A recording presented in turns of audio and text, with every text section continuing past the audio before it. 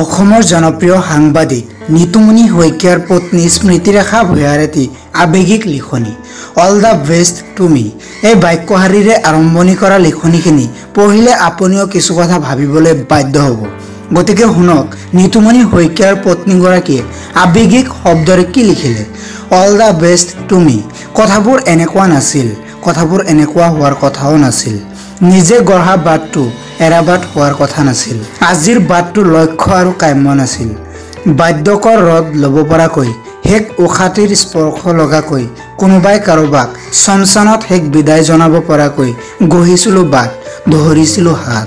Propose কৰা নহ'ল য়েছ কোৱা নহ'ল।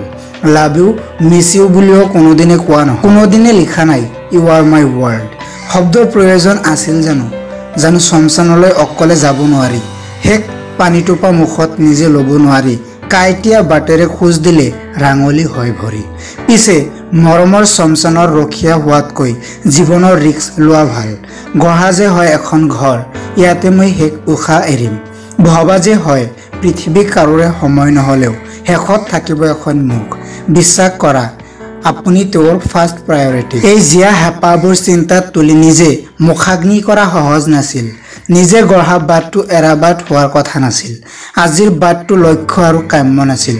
শুভেচ্ছাৰে নিতুমণি শইকীয়াৰ পত্নী তথা এগৰাকী শিক্ষয়িত্ৰী স্মৃতিৰেখা ভূঞাই এনেদৰে লিখনিখিনি সামৰণি মাৰে।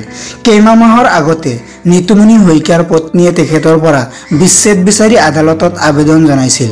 তাৰ পিছতে এই বিষয়টোক লৈ সামাজিক মাধ্যমত ধুমুহাৰ সৃষ্টি হৈছিল। অসমৰ এক আগশাৰীৰ সংবাদ প্ৰতিষ্ঠান প্ৰতিদিন টাইমৰ মুখ্য প্ৰতিদিন টাইমৰ মুখ্য সম্পাদক তথা অধ্যাপিকা স্মৃতিৰেখা ভূঞা। স্বামী নিতুমণি শইকীয়া এই বিষয়টোক লৈ কিছু বিতৰ্কৰ মাজতো সোমাই পৰিছিল। কিন্তু পৰৱৰ্তী সময়ত তেওঁলোকৰ মাজত বিচ্ছেদ হৈছিল নে নাই তাৰ স্পষ্টীকৰণ দিয়া হোৱা নাই। কিন্তু স্মৃতিৰেখা ভূঞাৰ এই লিখনিখিনিৰ পৰা বহু কথাই মানুহৰ মনত উদয় হ'বলৈ ধৰিছে। আপোনাৰ মতামত নিশ্চয় কমেণ্টত জনাব। এনেবোৰ ভিডিঅ' পাই থাকিবলৈ আমাৰ চেনেলটো ছাবস্ক্ৰাইব কৰি বেল আইকনটো অন কৰি ল'ব। ভিডিঅ'টো ভাল লাগিলে লাইক এটা কৰি দিব। ধন্যবাদ।